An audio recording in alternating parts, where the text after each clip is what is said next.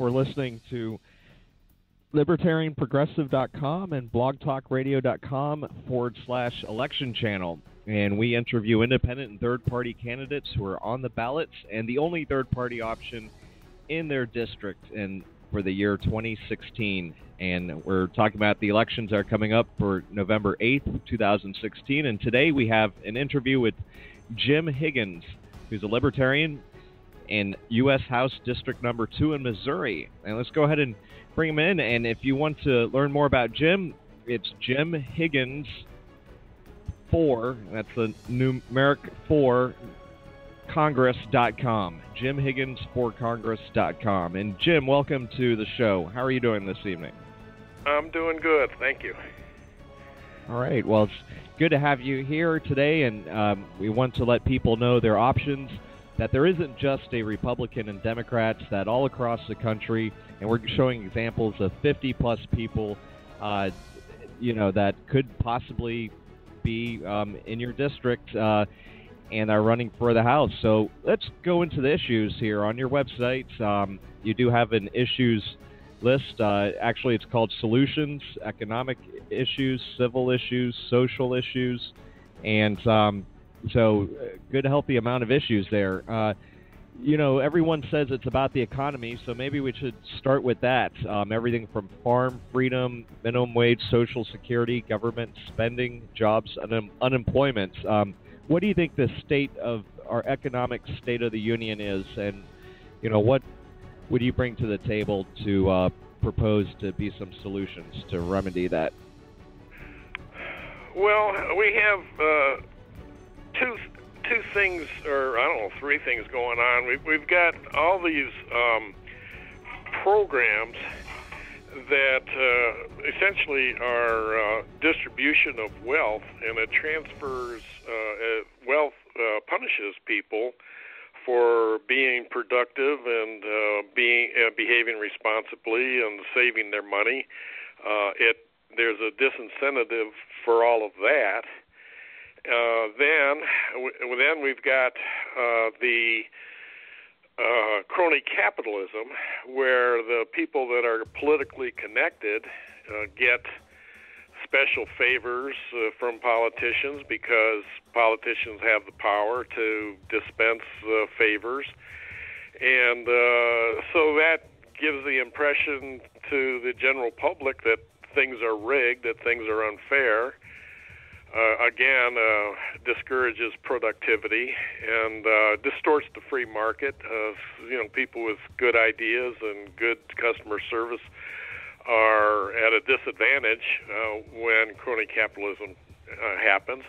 And then we've got uh, a, an army of bureaucrats enforcing ridiculous regulations that that basically smother economic activity and so we wonder, you know, why why don't we have uh, uh, a, a booming economy like we like we did maybe 30, 40 years ago? Is because you know we've got because of all these things, um, you know, and and government growth is the is the you know bottom line of all of this.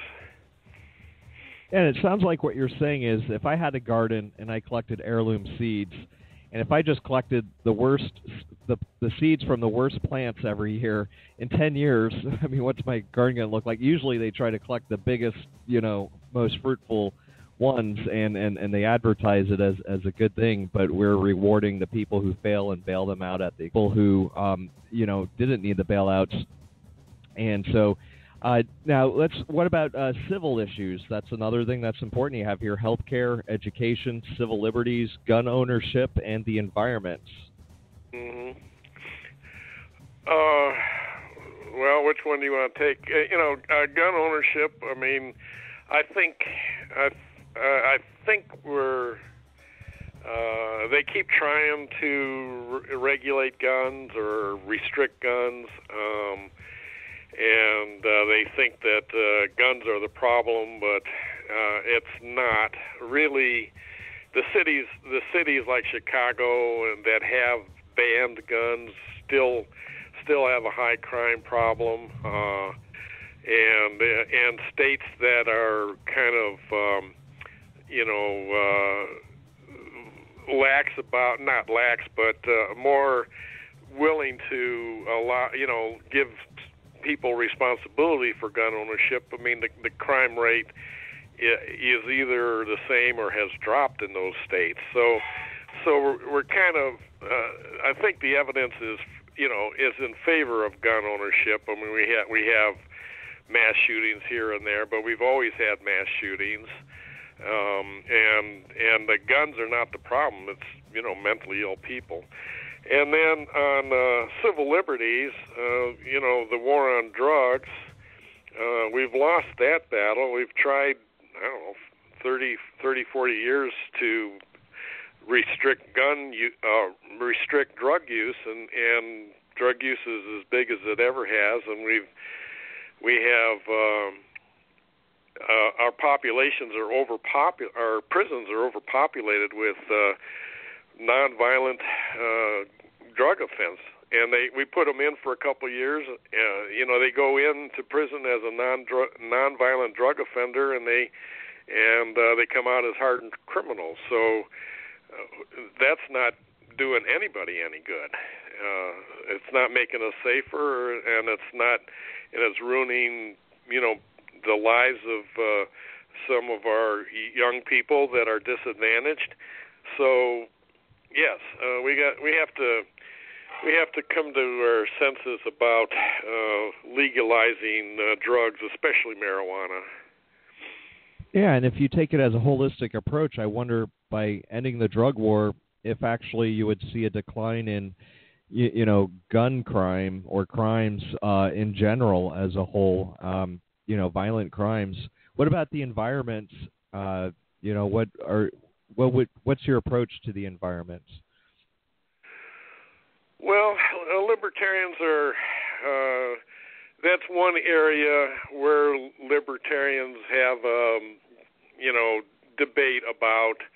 Uh, you know, I grew up in in Cleveland, and uh, I, I live in St. Louis now, but I grew up in the Cleveland area, and uh, we had the infamous uh, bridge, Cuyahoga River, caught on fire. I think it was in I don't know in the 70s sometime, and uh, and uh, the the Cuyahoga River at that time uh, was heavily polluted with uh, oil and chemicals from industrial industrial waste just was dumped into the river and and Lake Erie was a mess. They actually closed down a couple beaches. So uh, you know, libertarians think there might be different ways to handle that, but I, I, my opinion is that there there is a role for the EPA to keep the air and the water clean uh, that um, you know the air belongs to everybody and the water basically belongs to everybody. So there, I I concede that there is a function for the EPA, uh, and they did a good job of cleaning up you know the water in the 70s and everything, but they they've gone overboard uh, lately uh, in the last 10 years or so. Uh, violating the rights of uh, private citizens and trying to regulate small streams and things like that. So, um, but there might there might I think there is a role for government to um, try to uh, maintain uh, you know a, a good a healthy environment for everybody. Yeah, I think a lot of libertarians would agree with you on there. I mean, you're an individual um, at the, at the foremost, and uh, you know so there's um everyone's an individual ultimately and, and not everyone can be painted with a broad brush stroke so i appreciate uh you know your approach on that and um what about healthcare and education uh wow education good gosh. Um you know the um everybody just assumes that uh we need to have public education that that uh, you know that everybody needs to be uh, educated, and even and then uh, I, I even Thomas even uh, Thomas Jefferson uh, be- believed that uh, there should be some support for public education, but it hasn't. It hasn't really worked. I mean, uh, people are now starting to realize that uh, the public schools are responsible for a mediocre performance. Uh, there's um, we're behind. We're falling behind in Asian countries and even some European countries. And uh, the reason is because, again, it's incentives that uh, the the public school administrators um, get our tax money uh, regardless of performance. So they they have there's no incentive for them to improve education or or provide or or uh, innovate. Um, you know, all all of our in the, in the free market, all all, all other aspects of our free of our private life have improved. We've got the internet and cell phones and and um, you know uh, thin screen TVs and everything because of competition, which brings about competition brings about innovation. In education, we don't have that. They, for a hundred, you know, a hundred years ago, the teacher would stand up in front of the class, and the and the and the kids would sit and listen. Well, they're doing the same thing now. They might, you know, they they haven't really changed, you know, haven't changed the model at all uh, because they don't have to. So uh, that's one of my pet peeves is the education system is that uh, we should uh, at least try vouchers and and or tax credits. I, I I don't care which one you do, but allow uh, parents to use their tax dollars for to send their children uh, to the school of their choice, whether it be tutoring or homeschooling or parochial schools or private schools. You know, let let the, let the parents be in charge of um, you know how their education tax dollars are spent, and then uh, you know that that would bring about competition. I think that would go a long way towards uh, improving our education system. Uh, uh, and and uh, our children are learning all about the government in government schools. So what's wrong with this picture?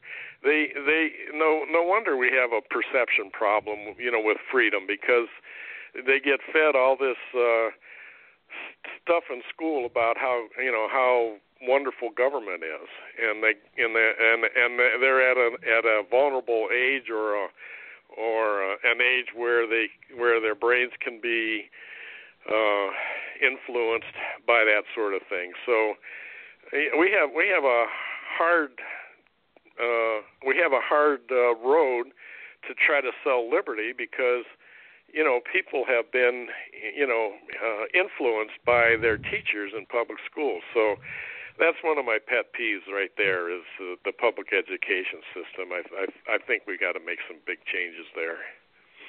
Yeah, I think people should be open-minded to hearing all ideas. I mean, at least listening to ideas, and I think it's something like, on average, the country per pupil spends about ten thousand dollars, or something very close to that per student.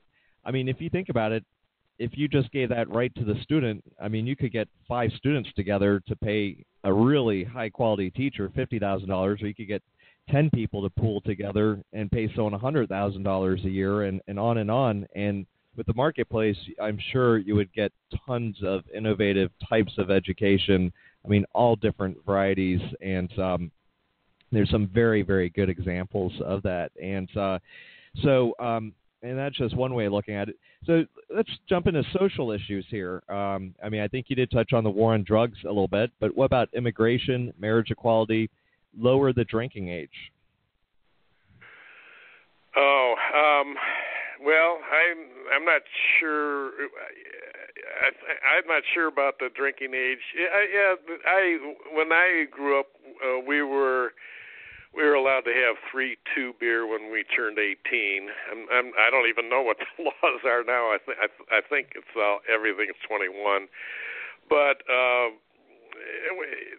that we handled that okay. I think that you know. Okay. Uh, so I, I don't think there's a problem with with lowering All the right. drinking age. All right, If we'll skip can- that one. Okay, if you can vote or if you can fight, you should be able to drink. Uh, Yeah. What was what was the other ones? Yeah, and that's a good principle, actually. I mean, it, it's you know, if you can fight, um, you, you know, and go to war, then I mean, I understand the principle of that. Marriage equality and immigration. Oh, immigration. Yeah, I think uh, immig- immigration. There, there's a you know, I I just kind of cringe when I hear Donald Trump uh, talk about building walls uh, and and and outlawing uh, you know limiting Muslims coming into this country. Uh, there should be a free movement of people. I mean, just because we were born here in the United States doesn't mean that uh, we have a, a lock on uh, what the United States has to offer. I mean, we're all immigrants, uh, and uh, unless unless you were native born, and even the, even even them migrated, uh, you know, ten thousand years ago or something. So, but people should be allowed to. That's part of freedom is that movement, and uh, if if they can come here and make a better life for themselves and and uh, not you know if they cause if they if they commit crimes or or cause problems uh then of course yeah convict them send, give them give them a trial and convict them and send them back. But most of the people that try to immigrate here are just uh, you know decent honest people trying to make a better living for themselves. And there there's absolutely no reason why why we can't let them in. Uh, you know my parents were my ancestors were irish uh and you know they were considered uh you know, you know disreputable people when they when they immigrated here. But you know uh irish irish people are are respectable citizens of society now. So you know they can you know, i i don't i i i just don't think we should try to restrict immigration and and let people uh flow uh, you know between between country borders Right, and um, very well said, Ed. And so let's go into. I have a list of questions here, or a list of topics. I can might be feel inspired to answer them any way you choose. Uh, different people might hear a topic and go in one direction or, or another. And so, how about um, if I said accountability and transparency? Um, what would you bring to the table, or what would you bring to uh, Congress as far as accountability and transparency goes, Jim? Well, yeah, if you're representing the people, I mean that that's kind of a that that's kind of a no-brainer. I mean, if I if I got elected, I would, you know, I would be transparent. I would be upfront with everybody, and um, I might I might you know I might be. uh I might be voted out at the end of the term, but at least I'll be upfront with them. I mean, uh, this idea that uh, you can try to hide things from the voters.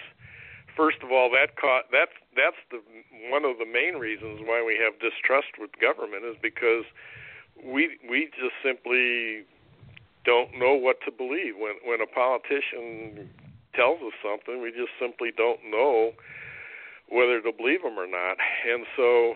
uh uh, the you know the the obvious thing and it's easier said than done but the obvious thing is to be transparent and be upfront with the american people and if if if they can't handle that then uh, i guess we'll get voted out but you know that, that's a that's number that's number one thing to do.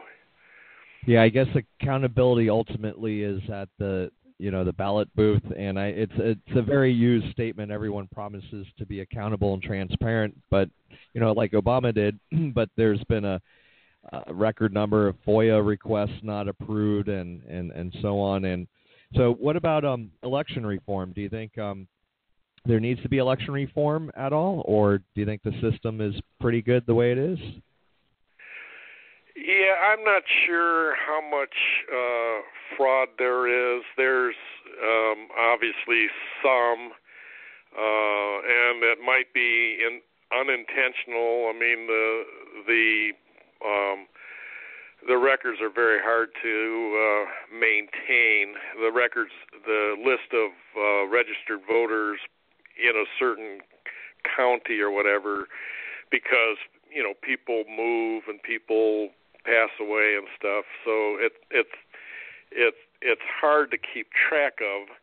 But I think outright fraud, I'm I'm not sure if that's a big problem or not. And um you know, trying to restrict people from voting uh you know, some sometimes these things the the election reform gets carried too far where you restrict uh, or try to limit people from voting, and that's not a good idea. So uh, I don't know. Again, it's government run, so you don't you can't expect.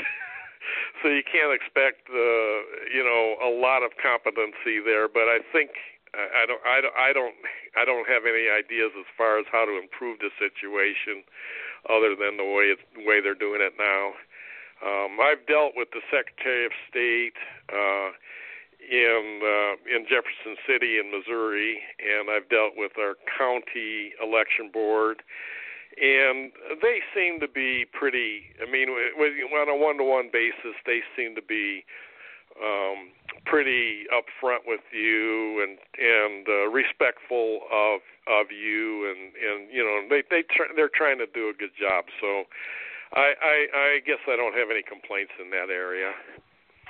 All right, all right. And what about um, small and, and mid-sized businesses? Uh, there's actually been I've seen a, a statistic the other day, or, or kind of a bar graph chart, where um, actually is like a graph chart where the number of new small businesses opening up over the last I think about 25 years or so, it is in a steady decline, and um, you know, and I, I don't think that's a good thing. Uh, do you think, um, you know, what, what, what do you think about the importance of small, mid-sized businesses, and is there anything that we might be able to do to change that trend?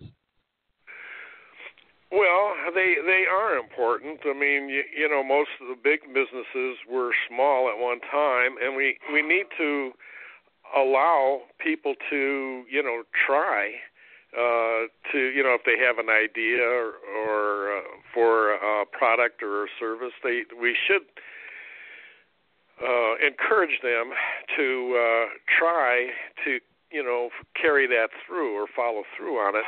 Whereas these days, it's just it's just simply uh, downright scary to start a business. I mean, if you have more than 50 employees, then you get slapped with all these um, regulations and bathroom facilities and what how you know the the ratio of uh, ethnicity and the ratio of gender and um, you know all kinds of things that open you up to regulation or liability.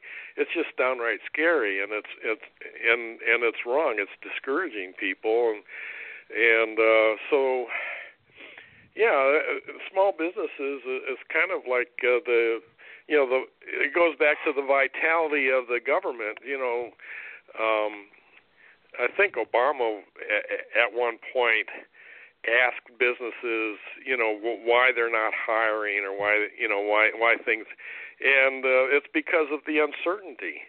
Uh, we we don't know what regulation is going to be coming down the pike, and and so you get you, if you have an established business or you or you try to start up a business, well, the rules might change on you, and uh, so people sometimes, a lot of times, don't even try. So, yeah, that's that's you know really kind of sad. Yeah, yeah, they just put it on the back burner, and um, well, w- what about um, our trade policies or trade deals? Uh, what would be your approach regarding uh, trade with other countries? Well, yeah, um, yeah. The uh, you know we live in a we live in a world economy. Um, we have to have trade with other countries. Uh, the the un, the unfortunate thing with a lot of these trade deals is they're not really free trade.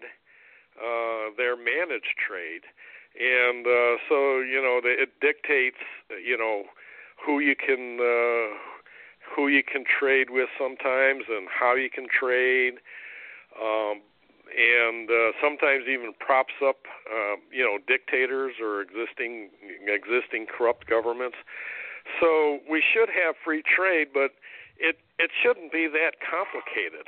Um, I mean, uh, you know, we don't need a lot of we don't need we don't we need don't need tariffs. We don't need um, restrictions or we don't need quotas.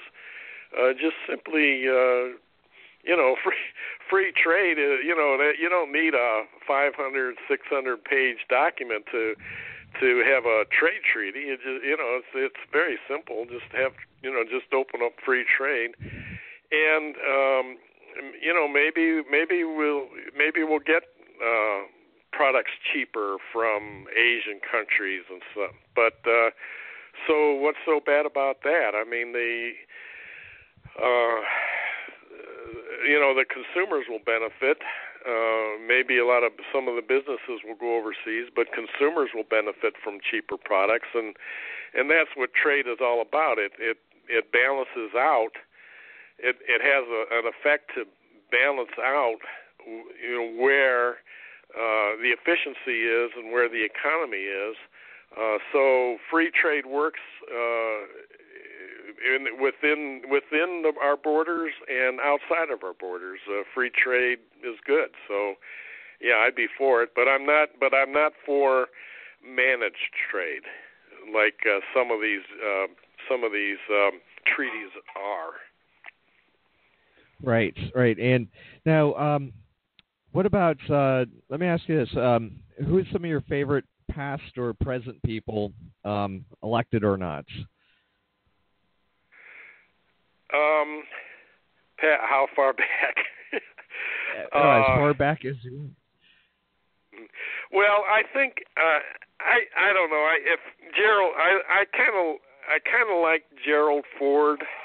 Uh, he got a bum rap. Uh, I don't know. I don't know if you're old enough to remember Gerald Ford or not, but I am.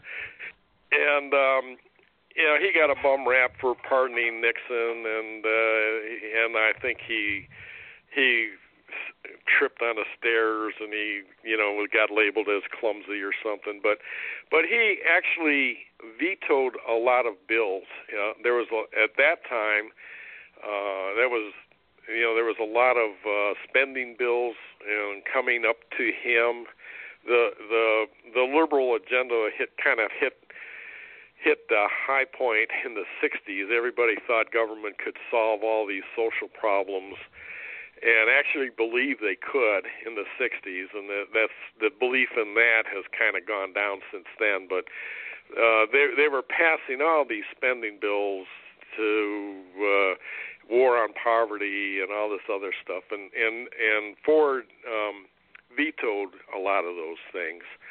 So I I kind of respect him for that, and and then uh, surprisingly. Um, Bill Clinton. Uh, he he got he recognized uh, in midterm that uh, you know he got the Democrats lost a lot of seats. I think the Republican, my, if my history is right, I think the Republicans took back Congress in '94 or something. And Clinton uh, recognized, and he actually declared that the era of big government is over with at that time, which which uh, didn't turn out to be true, but he he kind of got the message then, and uh, so he he he adjusted. Uh, he's he's he's a smart man, and uh, he he adjusted, and he he actually um, kind of went along. That was the only the only time. Uh, in the, if you look at the budget and the spending over the last uh, 40 years or something, it's just a straight line. It doesn't matter who's president or who's who's in control of Congress. It just keeps rising the same rate as it always does, except when uh, Bill Clinton was president, and he we had a Democratic president and we had a Republican Congress. So uh, spending actually, uh, de, you know, actually tapered off, and we ended up with a balance, close to a balanced budget. It really wasn't a balanced budget, but it was close and uh, so Bill Clinton adjusted, and and he, you know, he cut back on spending and things like that. So, despite of all his sexual stuff and everything, um, I I, I kind of think he was uh, one of the better presidents of the last, uh, you know, in recently. Sure, and actually, I was looking at some graphs the other day. Um, I noticed the exact same thing. I mean, it's uh, exponentially just r- rising uh, almost to like a straight line, except in the 1990s when Bill Clinton was president, it kind of did go down and then immediately went back up with George W. Bush. Um, right. So, uh, yeah, that's something to notice there. Um, so, what about some events in your area? Do you have any debates upcoming uh, and other events? Uh, yes, I do. Uh, the well, I I retired last year, so that gives me a lot uh, more of an opportunity to go. But I um, the uh, Chamber of Commerce um, in different cities uh, usually has um, luncheons. You know, in the middle uh, during the week in the in the middle of the day, and I and uh, when I was working, it was it was difficult for me to attend those, but now I can. And um, I went to one last week, and I was I was the only libertarian there, but uh, I got a I, I, I, got up and was you know able to talk for three minutes like everybody else and uh I got a I got a pretty good applause I thought I I so and uh so that was pretty good and then I've got another um, forum again with the Chamber of Commerce coming up um, October 5th. Uh, and then the League of Women Voters is trying to organize a uh, forum where uh, you know all th- all three of us will be there uh, at a community college. And the Democrat has accepted, and uh, Ann Wagner, who's our who's our incumbent uh, Republican uh, representative. Um, we haven't heard from her, so I'm not sure if she'll she will attend or not. I mean, uh, we're we're we're in a uh, well, the the district has been gerrymandered so badly that, that um, she's in a heavily uh, Republic. We're in a heavily Republican district, and again, she doesn't really have to try. She's gonna she's she's gonna get elected, so she doesn't have to you know, show up at the forum and uh, give me or the Democrat exposure, but but the the the debate is going to go on uh, with me and the Democrat there for sure. Uh, and maybe Ann Wagner will show up, and probably not. But uh, we'll we'll see how that goes. I hear what you're saying, Jim, and um, what I'm hoping someday, and it might not be this year, and and who knows, but uh, is that eventually the third party candidate, especially in a district like yours where you're the only third option, is that you'll just be able to pretty much ride the wave. I mean, because, I mean, I have seen some polls recently, and they've been this way for a while. That you know, if the American people had a choice, they would throw them all out, and um, and a lot of them don't know until the day they get to the uh, ballot that uh, there was a third option, so, at least in your district and, and many other districts across this country, there are people who are running or putting themselves out there to be a servant uh, for at least two years. Um, you know, and people don't like you after two years, they can vote, you know, the status quo back in. But, uh, well, we do thank you so much for uh, participating and um, and uh, you, you know I admire anyone who gets uh, what they need to do to get on the ballots and to, to try to participate in the system and uh, to give the voters another option and to you know participate in the debates. And so, uh, Jim, good to talk to you. It's it's uh, Jim Higgins, the number four Congress.com. And any last words, Jim, before we go? And we appreciate your time today very much. Um, just that uh, it's not a wasted vote if you you know voting for a third party uh for especially for libertarians is not wasted. Uh you know if you if you want things to continue the way uh, the way they are uh if if you vote for the two major parties things are just going to con- continue the way they are. If you want things to change you have to vote for a third party. Yeah, I mean, if we want that, uh, you know, accountability and transparency, I mean, no one's the incumbent's not going to do it for you, and no one else is going to do it for you. I mean, you know, you have to be the change that you want. And um, well, it's been a pleasure. Thank you for uh, taking the time this evening, Jim, and uh, good luck in your campaign. We appreciate it, sir. Okay, thank you. All right, talk Thanks, to you later. Mm-hmm. All right, take care.